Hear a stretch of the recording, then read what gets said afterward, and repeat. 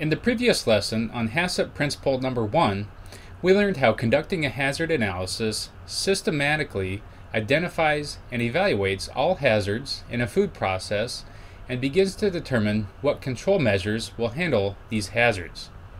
The five steps of hazard analysis led us towards determining whether a hazard was reasonably likely to occur.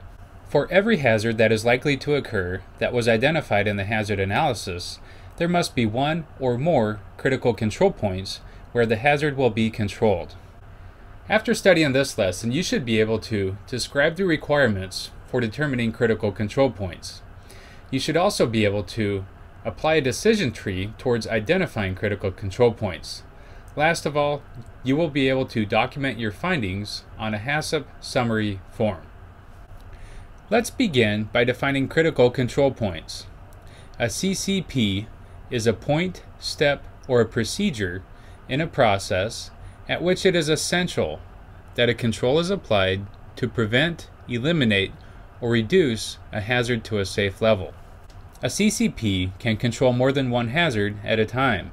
For example, cooking steps often destroy more than one type of pathogen. CCPs are chosen based on science driven decisions, and they are sometimes mandated. For example, the FSIS has a requirement that there will not be any fecal contamination at the point of slaughter. Okay, so how do we go about determining whether a processing step qualifies as a critical control point? Sometimes this decision process is easy, other times it's confusing. Fortunately, there's a commonly used tool that's designed to help us with this process. This tool is called a decision tree. Let's take a look at a decision tree that I found in the FDA's guidelines for the principles and applications of HACCP, which you also have access to on their website. Using this decision tree is very simple. We start with the first question. Does this step involve a hazard of sufficient likelihood of occurrence and severity to warrant its control? If the answer to this question is no, then it is not a critical control point. However, if the answer to this question is yes, we proceed to question 2. Question 2 asks, does a control measure for the hazard exist at this step? So again, we answer this question and this decision tree helps us to determine whether we need a critical control point at this step.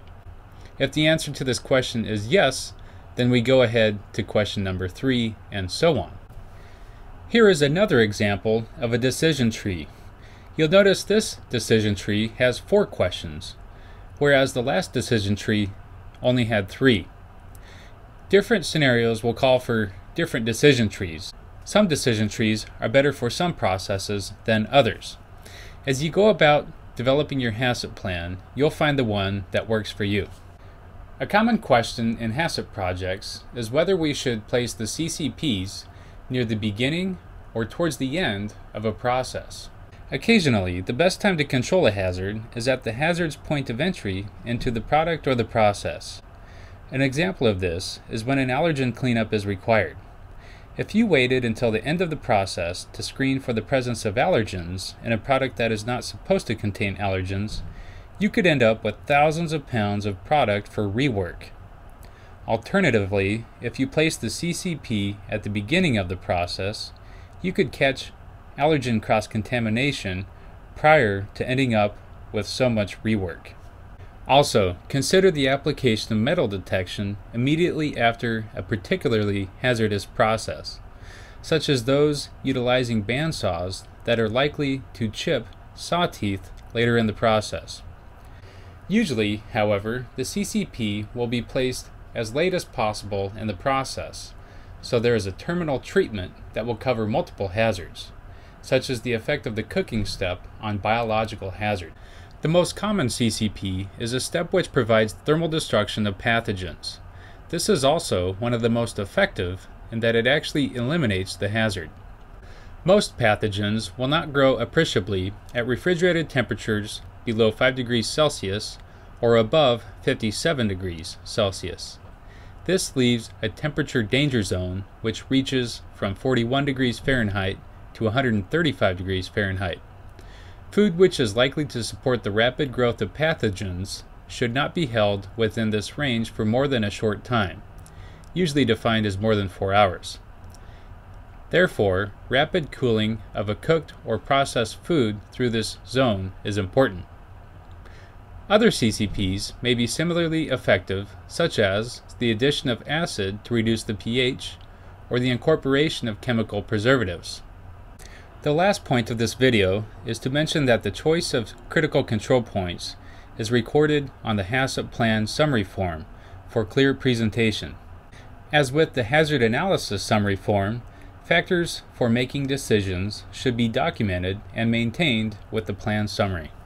In summary, now you should be able to describe the requirements for what makes a critical control point. And you should be able to apply a decision tree for determining critical control points. And last of all, you should be able to document the findings of your critical control point identification on a HACCP plan summary form.